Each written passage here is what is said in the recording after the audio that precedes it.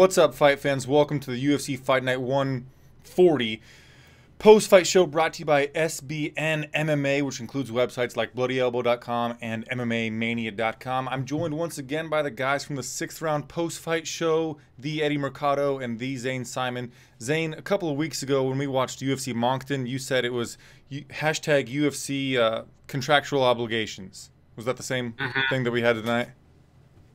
Yeah, I mean, th- this wasn't even actually UFC contractual obligations. This was UFC, like, this was UFC over expansion.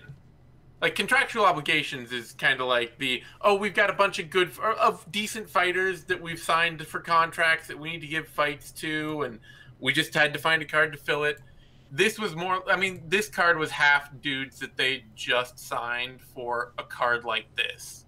Like what the fuck is Humberto Bandenay and Laureano Staropoli and Hector Aldana and Jesus Pinedo and Devin Powell and Anderson Dos Santos doing in the UFC except to be filler on this fucking card? That's pretty much you know? it. Yeah, we were just talking about how you used to have to watch the LFA and stuff to see who would be the next person to be in the UFC. Now you just watch the UFC to see who would be the next person to be actually on a decent card that people will pay attention to the UFC is the is the new LFA. They've become their own hardcore regional product. Yeah, so I came off of this fight card, uh, not really excited to do this post-fight show, even though I love talking to you guys. The fight card wasn't that great. It didn't end with any ebbs or any flows. I couldn't tell you what the fight of the night was, but Eddie Mercado is always Mr. Positivity. Shine some light on this thing. Give us some brightness. Man. All right. There are a couple takeaways. Lamas getting a TKO on Elkins is kind of a big deal. Elkins is super hard to finish, and Lamas desperately needed a win. Uh, Ponzinibbio, uh, man, that fight should have.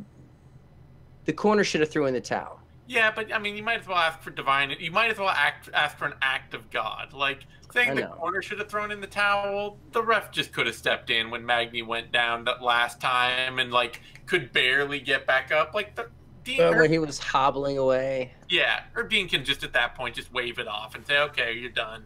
I was well, thinking that Magny should have just uh, tapped to strikes. I know that they're these guys have too much pride or whatever to do that nowadays, but he wasn't going to win. He was on one one wheel. From yeah. like Jump Street though. Like he look he was in survival mode for like 97% of that fight. Yeah. And that fight went into the 4th round. Like it was just man, that fight should have been stopped by somebody. like someone who like cares about sport and yeah. in the sport I mean, side of things. You, got to always look to the ref first on that. Corners, a lot of corners don't even think you can stop the fight because the commission will tell them you're not allowed to throw in the towel. That's a rule infraction, not a way to stop the fight. But it'll still stop those. It'll stop whatever the fuck's going on. You hit the referee with the towel. I've seen refs take the towel and throw it out of the cage. I've seen that once. Yeah, Ooh. but I've it, seen that one time in boxing. I've I've seen it in MMA. I've seen it in MMA too. But still, I think it, the fight should have been stopped. It, it, I don't. I didn't like seeing that unnecessary beating, and like it ended with Magny face planting, where like any normal day I'd have been stoked on it, but because it came on the tail end of just a complete one-sided assault, it it just it wasn't satisfying for me he was already done before he got knocked out. He didn't need to get knocked out. Yeah. Right, and we talk about all the time how these fight cards, our lasting impression is how the main event turned out. And the main event, one-sided beatdown, no ebbs, no flows. So the whole card for me came off as I'd, I'd give it a rating of a. I'm just gonna go A to F. I'd go a D. I normally go one to ten or whatever. Yeah, D. Failing grade. Eddie, and, go ahead, Sam. I was gonna say it's weird though because it should be noted that the last one, two, three, four, five, six, seven, seven of the last eight fights on this fight card ended in finishes. Like that should be fun. Yeah, but you most know? of those finishes were just like obliterations. There was there was no moments to ha- get like tensed up about it. When Pantoja uh, finished Sasaki, it was just like cut through him like a hot knife through butter. Uh, Prazeres versus Fabinski, same thing, just fucking bam. There was no time to get invested in the ebb or a flow or the, the trajectory of the fight changing. Yeah, it's just weird. It is weird to think that like I'm not disagreeing with you. It's just it it does show that like there's a real there's something really wrong with the product you're putting together at that point when you can't like there's even action going on and it still just doesn't feel important at all.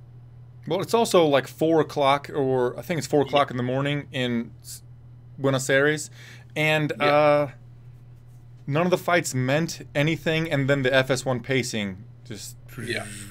And I mean, it started with four decisions. Oh yeah, right no, it started with a, a momentum killing slog, but that ended pretty quickly. Like it, the rest of the fight card was all finishes. It's just it didn't matter. Yeah.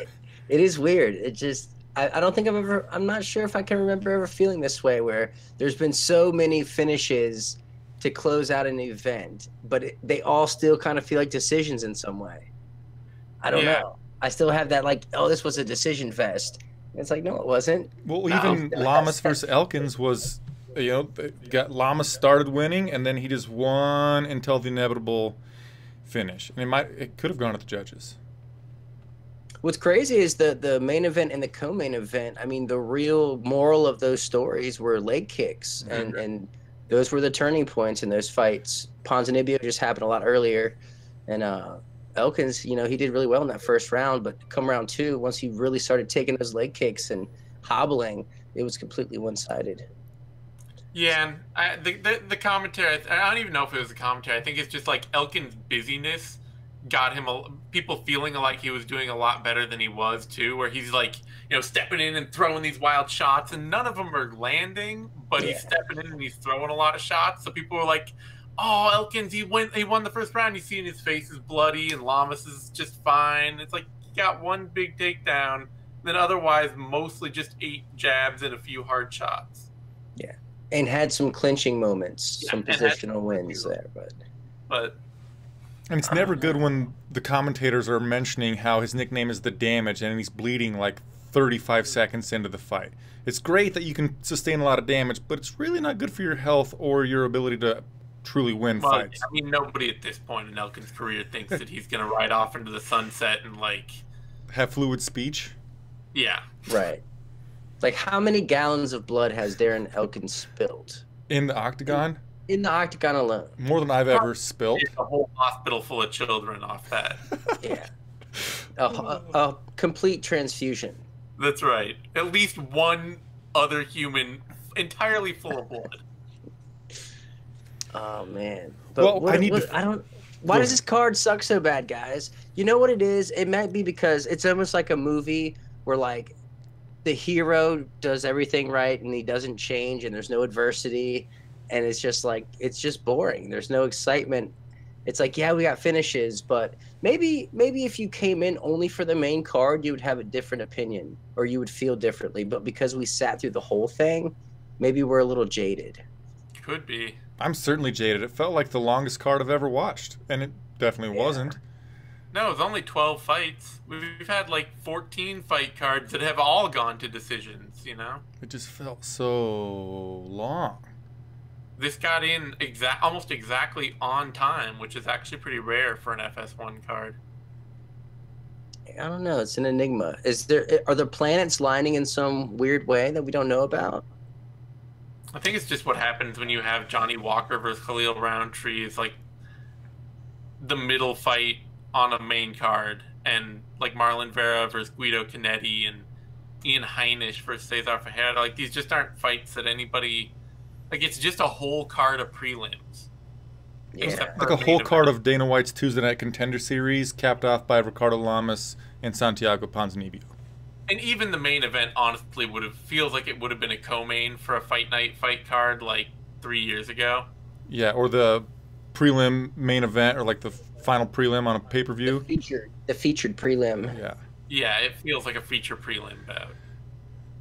Well, let's think about Well- something positive to talk about on the fight card before I let you guys go. Let's uh, let's get some positivity in here. Just saying one thing on the fight. I got okay, you. yeah. I got you. Good, I got Eddie. you. So this will be my my what the fuck moment also. Okay. So Michel Prazeres coming out getting a club and sub like that, like actually being exciting for a change. Yeah. Okay. I'm with that. Two and zero now at 170 pounds on an eight fight winning streak. You know, I that maybe he's turning a new leaf. Maybe he's gonna, you know, actually become exciting enough to to get noticed for a title run. By 43, he'll be in contention. Yeah, that's it. He turned But that leaf over to the positive out, though, side, but he wants to go back to the negative side. we have to flop back. It's inherent. The card, the card is like possessed. Maybe that's what it is. I was saying, Why- Prazeres, he was like, uh, he won this fight. He's doing really well at welterweight, but he said he wants to go back to lightweight. Yeah. What the hell, man? Well, I mean, it's not like he wasn't winning there too. Well, Yeah. but yeah, but we weighing it at 161. Sure. Yeah. well, Yeah. I don't know, man. Fuck this card. Yeah. And that's so unfortunate. It's just so irrelevant. It doesn't matter. Like the main event kind of does, but it just doesn't matter. Like it Yeah. really doesn't matter. Well, 'cause, Like we had we had like top flyweights, and it's like, oh, cool. You want to call out Joseph Benavidez? Like, cool. Like the division's up in the air. Like, what are you Oh, doing? dead. Yeah. hmm So it's like I can't even care about flyweight fights anymore. It's especially too bad for Pantoja, who is actually like, he's five foot five. He's a true flyweight size. Like if it, Yeah. you know, if it was Ulka Sasaki having a fantastic performance, he's five foot ten. He's been at one thirty five a few times. Pantoja's actually tiny. Like, where is he really gonna go fight up a division? No, he's gonna go to a different league. Yep. Yep. He's gonna go fight uh, Horiguchi. That'd be fun. Yeah. Yeah. Zane, you got something Perfect. positive to talk about? I'll say that Johnny Walker's knockout of Khalil Rountree was pretty fucking cool. Yeah. and- Honestly, And we got a didn't see it future contender there. I mean, it, it in as much as beating Khalil Rountree makes you a future contender, sure. Like, Yeah, it's light well, heavyweight. it, it the way it happened and the Yeah. display of athleticism automatically makes me want to see him fight Yoel Romero and or Paulo Costa. So Yeah. that by default makes him in contention. yeah, no, it's definitely like it's a cool, it's a cool finish. He's huge for the division and looks, you know, he's Dude, did got you see that natural backflip he leverage. did? He's What? fucking backflipping like I know. Jesus Christ, and he like flows through the air. It's not like one of those like ugly big man like Shawn Jordan does a backflip. This is like, dude, you could be a gymnast, but like like man, he is a freak. I just hope he can stay clean and and he doesn't pop on any USADA tests and because damn it, the the more new blood in that division, the better. That's why I liked your comparison to him and Paulo Costa. Same appearance, kind of. Yeah, I mean, he's he's in a division where you're kind of supposed to look like that. You're supposed to be tall and lean and super athletic. Paulo Costa, he's Uberlandia Reem. I mean, the dude got a fucking bicep tear. How many fighters you know go out and like that's a bodybuilder injury?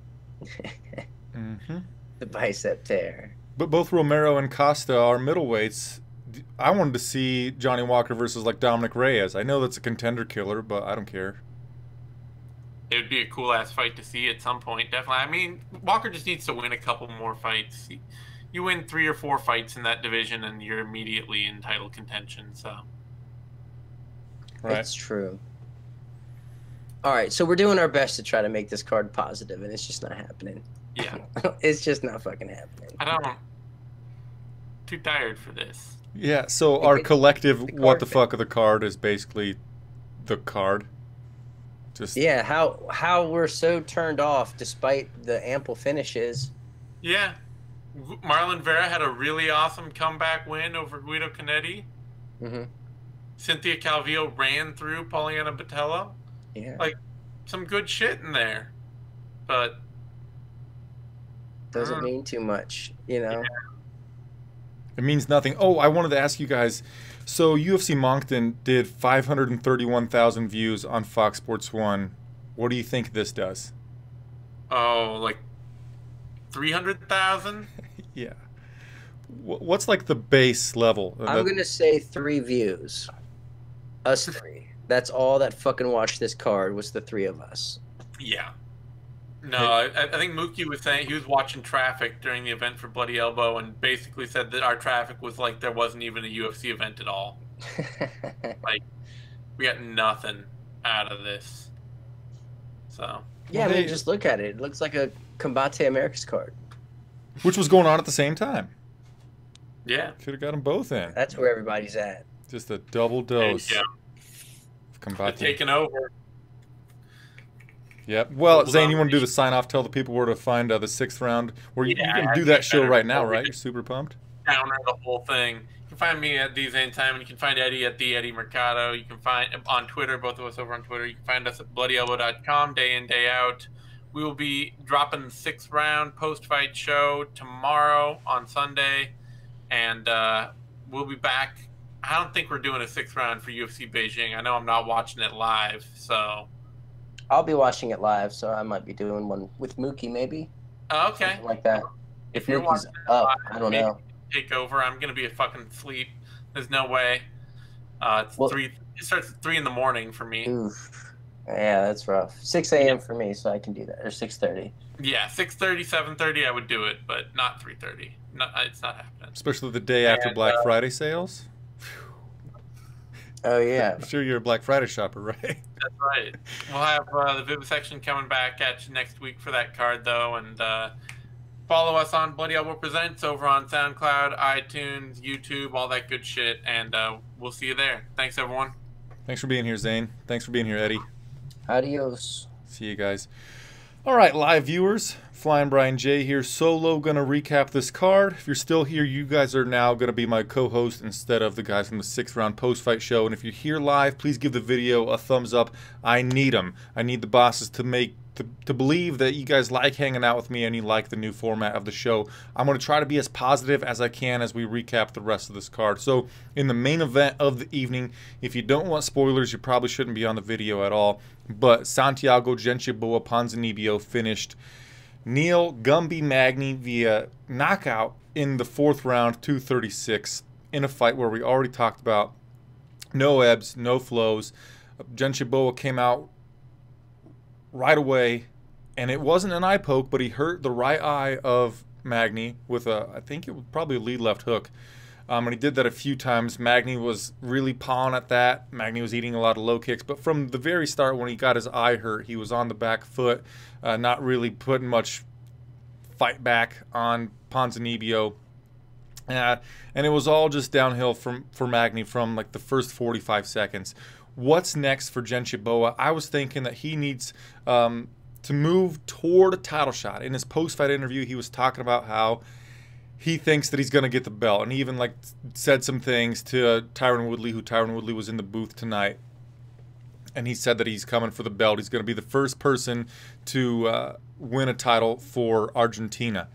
I think that Gente Boa should fight probably Wonder Boy. I was thinking either Wonder Boy or the loser of Rafael dos Anjos versus Marty Usman, Kamaru Usman, which that fight, RDA versus Usman, happens uh, next week. No, it happens on the 30th, doesn't it? It's very soon. Yeah, yep, on November 30th. It's a weird date. But anyway, so I was thinking Ponzinibbio could try to move himself toward a title shot by doing something like that. What post fight rating would you guys give the card from 1 to 5? With 5 being a really great card, 1 being you didn't watch the thing or you, you wish you wouldn't have watched the thing. As I said, I would give it a D, uh, A to F. And for my post fight rating of 1 to 5, I'd give it a 2. You know, it's just, it wasn't a great card. But tell me what you guys thought it was, and I'll get your comments in on the show. In the co-main event of the evening, we talked about already. Ricardo Lamas defeated Darren the Damage Elkins. Because we've talked about the fights already, and I'm not too excited to talk about the rest of them, let's go over uh, how my bets went tonight. What do you think about that? I'm going to move you guys over here.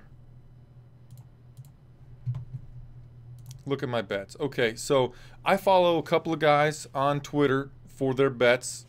Some of them are paid for, some of them are free, but I follow at MMA Vegas Pete and MMA LOTN. Sometimes I follow magic underscore MMA. But here are the bets that I made uh, with my own mind and in conjunction with those guys on Twitter. Follow them if you want some great bets. So I bet on Ponzinibbio five to beat Darren Elkins at uh, minus 160. I put five units on it. I profited 2.94 units on that. I also put uh, four units on Ian Heinisch over Cesar Ferreira, which Heinisch really dominated Cesar Ferreira. It was a 30 27, 29 28, 29 28 victory for Heinisch. Uh, but I thought it was 30 27, maybe even 30 26, because in the third round, Heinisch had Ferreira hurt a bunch of times, was hitting him with big power shots, but then he would just go in for a clinch when he had Ferreira hurt really bad. Basically, he was rushing forward, and his momentum carried him into the clinch, where Ferreira would try to look for takedowns, but Heinisch has a background in wrestling and did a really good job either keeping the fight on the feet or standing back up once he got taken down. But I put four units on Heinisch at plus 160. That profited 6.4 units.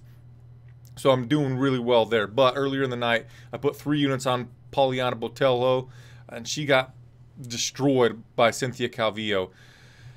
Cynthia Calvillo caught a kick from Botelho, got Botelho to the ground. Botelho went to just kind of stand up Derrick the Black Beast Lewis style, and Calvillo put in the Mata de Leon uh, without the hooks in, rear naked choke without the hooks in.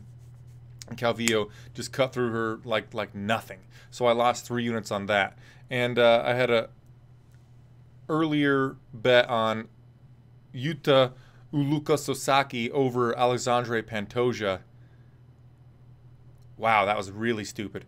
Uh, I bet one unit on him at plus one at plus 260. He lost, of course, so I lost that. But I ended up betting a total of 18 units, profited 7.67 units for an ROI, which is a return on investment of 43%. But my betting record overall, I'm minus 13 units in my career.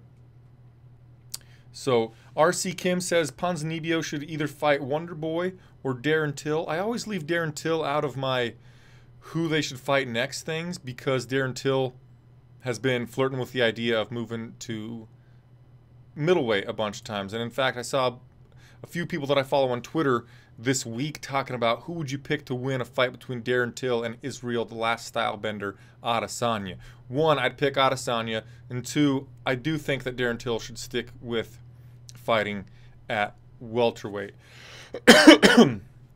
Excuse me. Uh, if you watch the fight card, instead of me talking about the rest of them in too much depth here, let's talk about who we would give post fight bonuses to, and we'll use that as a way to talk about each one of the fights. Huh. RC Kim says he looks forward to seeing Ulka Sasaki on Rizin's uh, New Year's Eve show. Yeah, probably. But also, think about this, RC Kim. If Pantoja, who took Sasaki down, rear naked choked him at 218 of the first round. Well, no. Uh, Sasaki took Pantoja down, was on top of him, was going to rain down some ground and pound. Pantoja was throwing up uh, triangles and armbar attempts, ends up uh, getting the back of Sasaki in a scramble, and got that rear naked choke.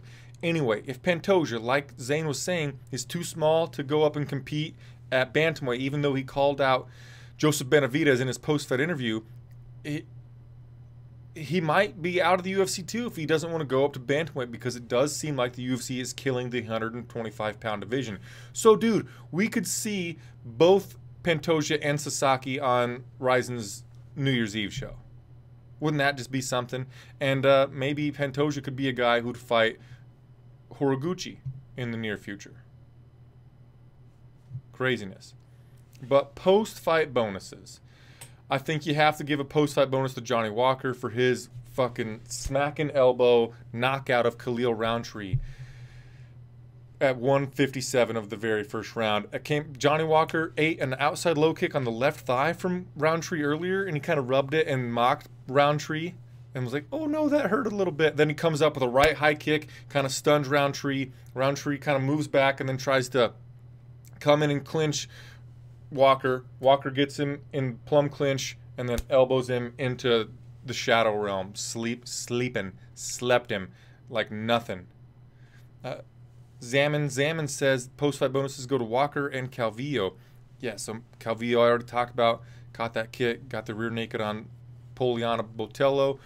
Would you give uh, Marcus McGahee says performances go to Walker, Ian Heinisch, Calvillo, and either Elkins Lamas for fight of the night or extra performance bonus for Prazeres and Pantoja. You get it, Marcus. We always give out five because we're not actually giving anybody any money at all.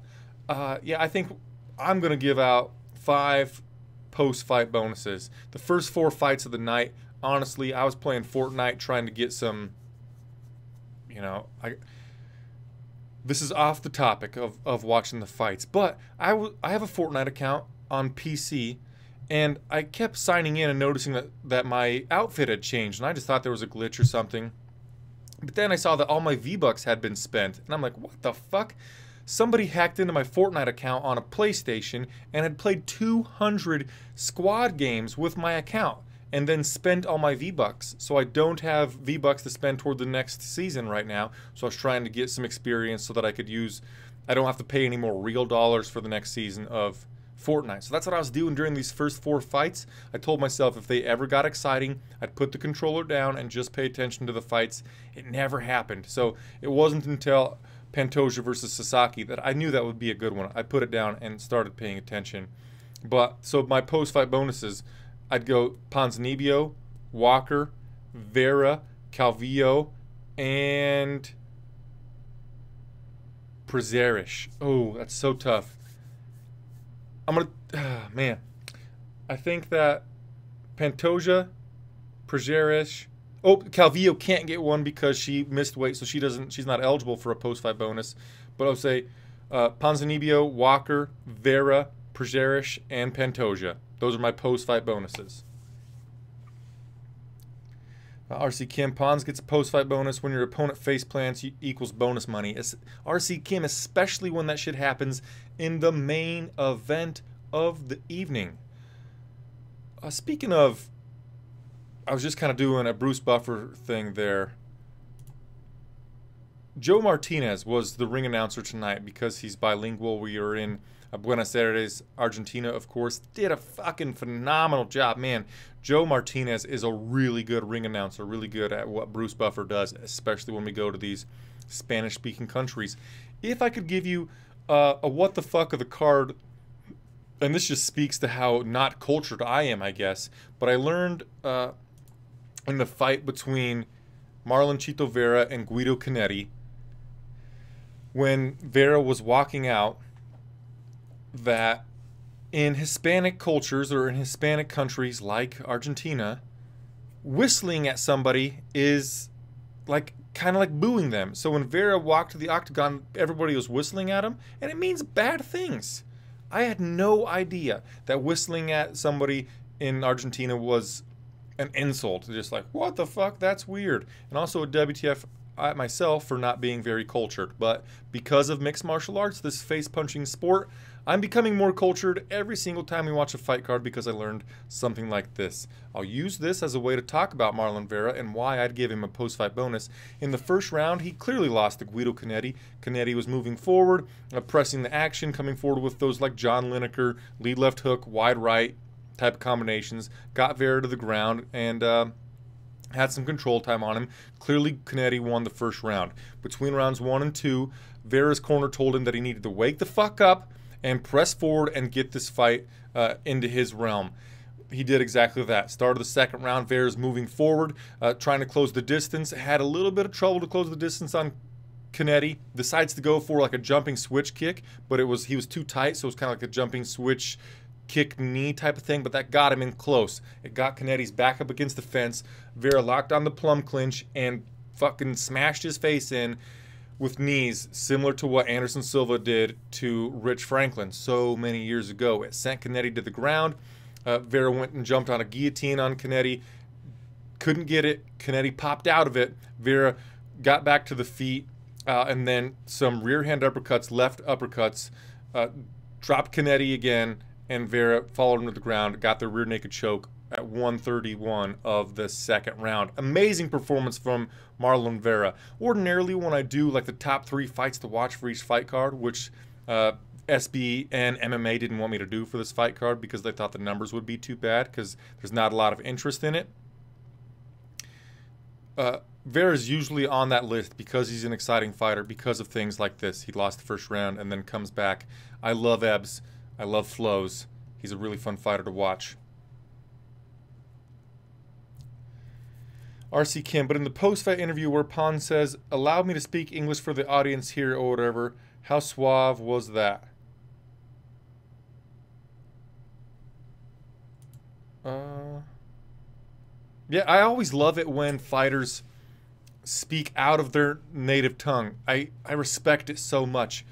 I only speak one language, English. I can say some words in Spanish, but I couldn't understand you in a conversation. So I'm always really impressed when these guys who punch faces and get punched as well for a living are bilingual and they are respectful enough that whatever place they are in, they'll speak the native language so that they can gain some local fans is one reason why they do it but it just it's so awesome that they do that. So Ponzinibbio speaking English to the viewing audience was awesome. And then also Ian Heinisch after beating Cesar Ferreira well, spoke a little Spanish when Jimmy Smith was like yada yada tell me about the fight gives him the microphone immediately immediately goes into uh, gracias you know uh, type of stuff I'm sorry, my I don't.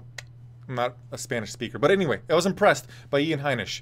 And uh, if you don't know Ian Heinisch's background, he's a former drug like dealer, uh, was in prison. He's out of that now, and he's all now he's a mixed martial artist. That I think what's next for Johnny Walker could be somebody like Shoeface, uh, or perhaps um, the winner of Uriah Primetime Hall versus Bevon Lewis would be a good option. Or perhaps that guy from Alabama, the linebacker from Alabama. What the fuck's that guy's name? Why am I blanking on it? Hold on a sec.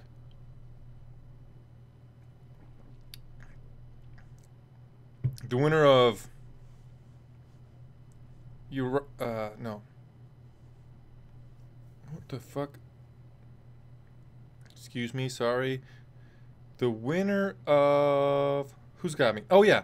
Eryk your boy Anders versus Elias Theodorou. Why can't I find your boy on the rankings on Tapology? Is he that far down? Must be. Anyway, thanks for being here. That's why that's why you guys are my co-host. Thank you, Marcus McGahee.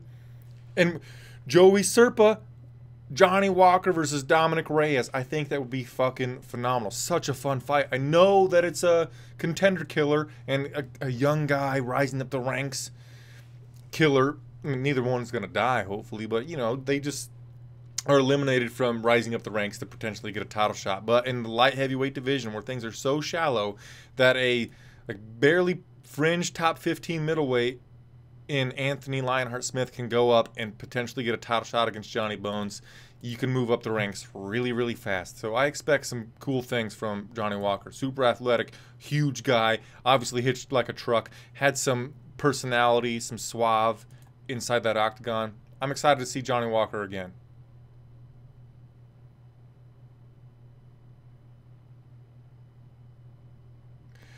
I think that's going to do it for our show, unless you guys got something else to talk about. I think I'm skipping the next UFC event, which is headlined by a rematch between Francis the Predator Ngannou and Curtis Razor Blaydes. It is starting at like 2 in the morning, my time, next week and it's also Thanksgiving weekend. I have I have Thanksgivings every single day next weekend. Thursday, Friday, Saturday, Sunday. I have a Thanksgiving to go to every single day.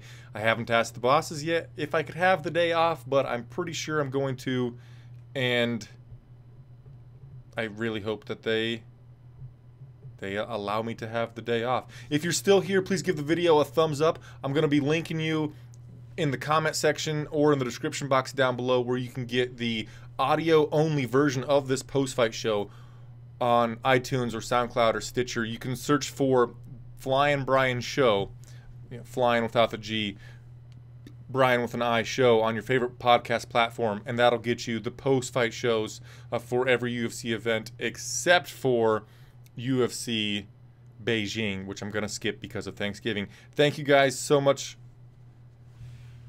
for being. Uh, Joey, uh, I hate doing this because I already did my sign off, but somebody wants me to talk about something else, and I'll oblige you. Talk about how badly Colby beats Woodley.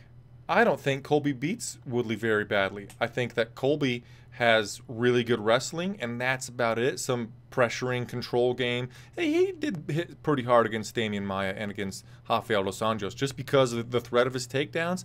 But look, man, Tyron Woodley has the same level or the same expertise in wrestling, and then Woodley hits harder. So I'm going to be picking Tyron Woodley to win that one, but got to respect the tenacity and the mental fortitude that Colby Covington brings to the octagon. Still going to pick Tyron Woodley to win, though. Thanks again for being here, guys. Please give the video a thumbs up, subscribe to the channel, and I'll see you on my next video. Namaste. Also, cheers. Let's drink a beer.